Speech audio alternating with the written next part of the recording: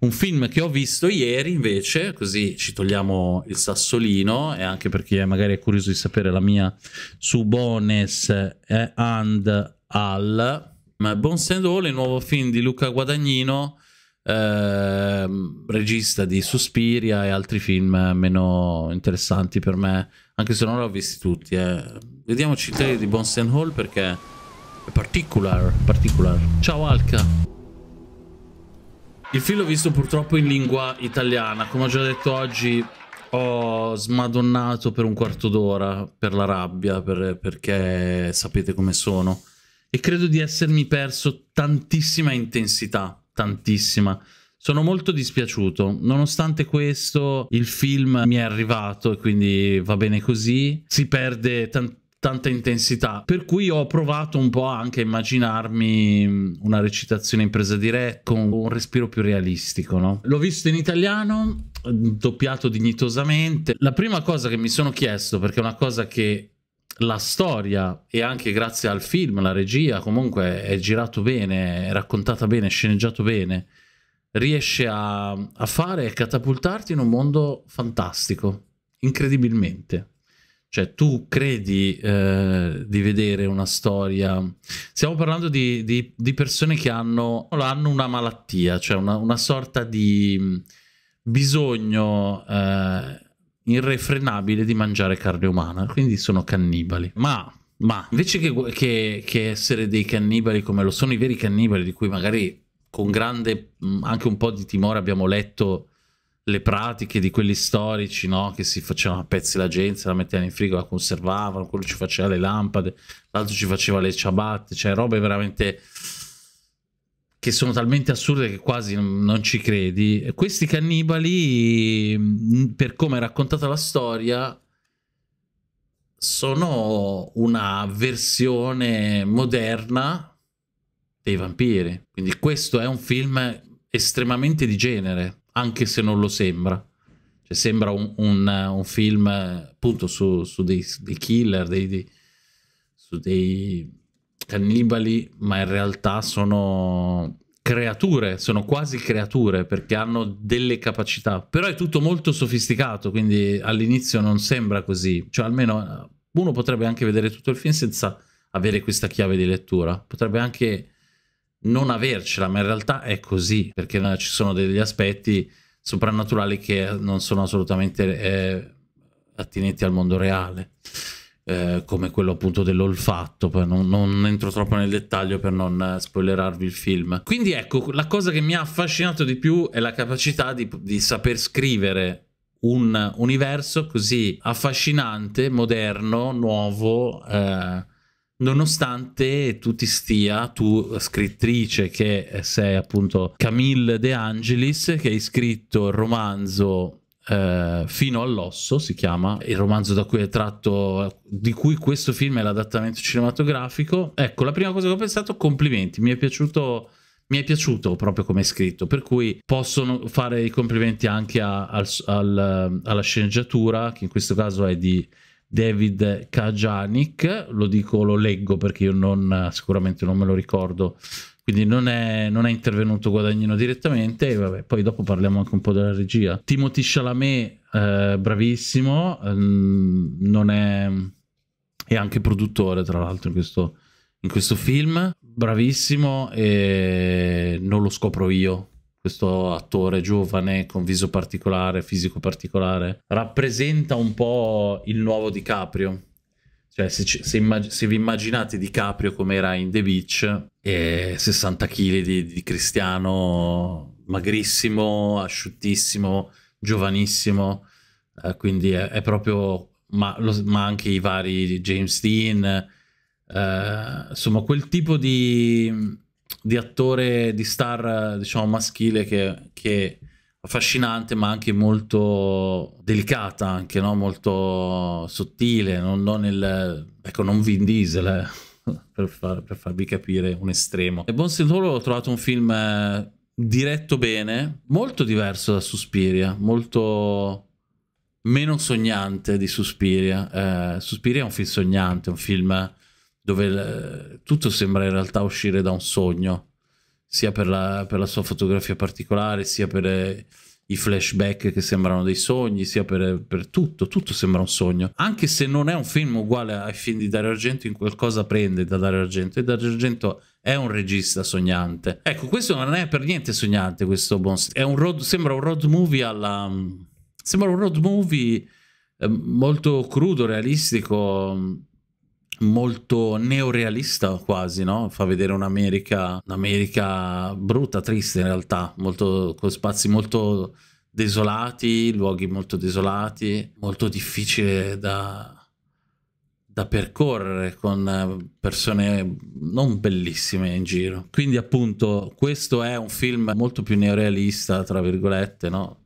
Di, di Suspiria e però ha una, ha una componente magica comunque molto forte, anche se non si... non sembra. Ho trovato che questo film per un attimo riuscisse a farmi sognare come sognavo da bambino, quando vedevo, eh, che ne so, l'ammazza vampiri e pensavo, ma se il mio vicino di casa fosse un vampiro... Cioè, per un attimo mi astraevo dalla realtà e il film mi aveva condizionato e quindi questo film che parla che appunto dico un sembra un po' neorealista no? fa vedere questa America così difficile anche da, da, da, da, attraversare perché ti si rompe la macchina poi che cazzo fai fai l'autostop vai prendi l'autobus sono 60 dollari per arrivare a non sai dove è solo un pezzo un terzo della tua strada e sei senza una lira e sei circondata da persone pericolose eh, ostili, insomma è un'America vera, eh, non, estrema, non estrema ma anche molto dura comunque. E, e in questo c'è tutto questo mondo fantastico che diventa fantastico nel momento in cui tu però nel momento in cui tu crei dei personaggi che possono interagire a livello, ol, ol, cioè a livello olfattivo tra di loro, per cui si, si riconoscono, si sentono a distanza. Ecco, questo eleva il film eh, a un livello di, di cinema di genere e, e, per me è fantastico. Ripeto, Guadagnino ha fatto un ottimo lavoro in regia perché è, è girato bene e lo si capisce da come sono fighi, fighi i personaggi e sfumati eh, con, sfumati nel senso con tante sfumature come per, per esempio l'indiano, il mezzo indiano, la ragazza, lui, sono bellissimi, sono profondissimi questi personaggi e, e, tutti, e tutti, hanno dei, cazzo, dei, dei traumi psicologici, persino il, il, il, il, signore indiano, diciamo, che, di cui non dirò molto per non, non spoilerare, ha dei traumi e lo dice, ci sono delle frasi che dice, che spiegano che cazzo anche lui non se l'è passata bene, che, che soffre, eh, che soffre la solitudine e vabbè la ragazza, il, i, poi alla fine i due ragazzi rappresentano un po' anche quello che è un tema, uno dei temi principali del film. Il, il film è fondamentalmente un film sulle, sulla loro emancipazione, sul, sulla loro crescita. Eh, dall'età infantile, dall'età infantile all'età adulta, cioè è un, è un percorso, che siano mh, mm, cannibali o, o, meno, non cambia un cazzo, cioè loro hanno gli stessi problemi dei teenager americani e non, e non perché sono gli stessi che scappano, fanno, disfano, fanno casini, eh, vengono picchiati dai genitori, vengono abbandonati dai genitori, vengono non capiti dai genitori eh, quindi è fondamentalmente è quello ed è, ed è, una cosa figa. Questi sono film, sono storie per teenager. I teenager dovrebbero vedere questo, dovrebbero vedere le difficoltà, la sofferenza, le difficoltà dei genitori, le difficoltà dei figli. Questi sono i teen drama che io voglio vedere, che voglio che i ragazzi vedano per crescere, per sentirsi per essere più intelligenti, non eh, le stronzate del, del, liceo a bulli, poi si vedono solo cose schifose in quei tipi di, di, prodotti lì appunto. Quindi molto, molto figo, un film con effetti speciali eccezionali, non, non, hai minimamente la sensazione che ci sia niente di finto, è tutto molto realistico, è abbastanza fortino per qualcuno, ovviamente non per me. Anzi, io mi sarei unito al banchetto, sinceramente. Uh, una, forse ecco una critica che faccio, ma una critica un po' così che non, non, la farei neanche, però giusto perché devo riempire sta cazzo di live di contenuto, la faccio. Uh, se Suspiri aveva una fotografia curata nei minimi dettagli, particolare, con tanto di post produzione, tutto era uh, curato prima, durante e dopo, uh, in questo caso io ho notato una fotografia non omogenea, ma penso che sia anche volu voluto. Quindi non sempre eccezionale, non sempre bella, a volte veramente stupenda, altre volte meno, meno curata. Mm. E lo si nota proprio perché in alcuni punti è molto bella, però si nota che in altri invece è così, un po' così. Uh, trovo, lo trovo recitato benissimo. Mi spiace veramente tanto non averlo visto in lingua inglese. Io spero penso che ci siano buone probabilità che eh, uscendo in, in un video possa arrivarmi un'edizione magari figa che io possa recensire e allora a quel punto me lo rivedo volentieri in, in, in lingua originale perché secondo me ha un impatto mostruoso. Tutto è legato a quanto tu sei capace, quanto il film è capace di, di farti stare lì insieme a loro, cioè farti essere uno di loro, farti... Mm, se ci, se ci pensate a un certo punto del film il cannibalismo viene quasi normalizzato, cioè vi viene quasi a dire vabbè però poverini devono pur mangiare qualcosa questo.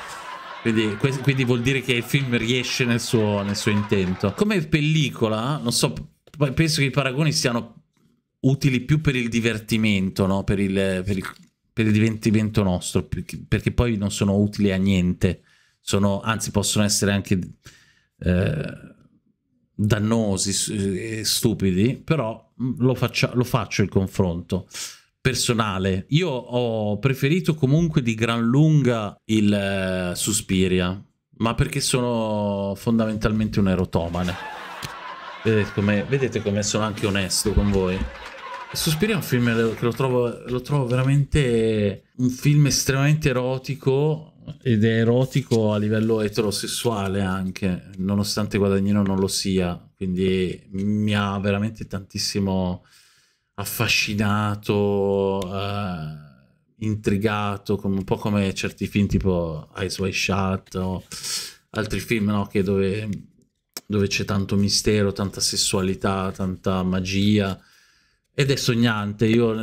Io, comunque associo molto il sogno alla sessualità. Alla, alla... Non lo so, mi è... mi è, piaciuto come opera, mi è piaciuto, l'ho trovato molto più, più espressivo. Però, mettiamoci un però, io sono contento che Guadagnino abbia fatto qualcosa di molto diverso, anche artisticamente più asciutto, qualcosa di più...